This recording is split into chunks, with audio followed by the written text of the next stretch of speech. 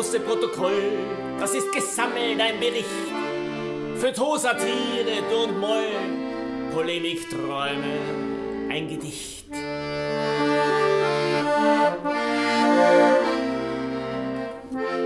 Das ist die Zwischenzeiten Zeitung, Hoffen, Symptome, dann die Wende, die gnadenlose Ableitung der Formel, Anfang, Scheitern,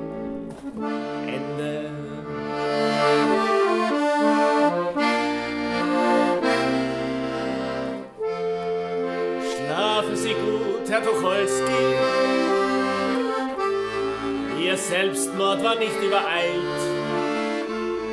Ihr Werk hat zehn Bände, die lese ich zu Ende und bin von jeder Hoffnung geheilt.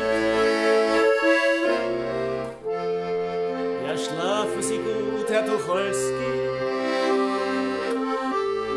Zum Ausstieg wär's bald wieder Zeit. Die Welt zu beschreiben heißt sich zu vertreiben. Sie wären sicher bald wieder so weit. Die Militärs sind wieder militärisch. Die Uniform lässt Bürger keine sein.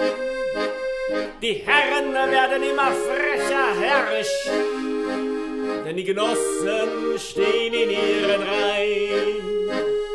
Das Kapital hat längst seine Gewerkschaft und die Gewerkschaft hat ihr Kapital. Und die Linken kultivieren ihre Sekten und die Faschisten stehen im Wartesaal.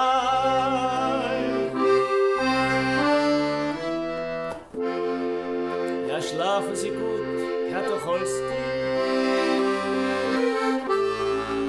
Grüßen Sie das Totenreich.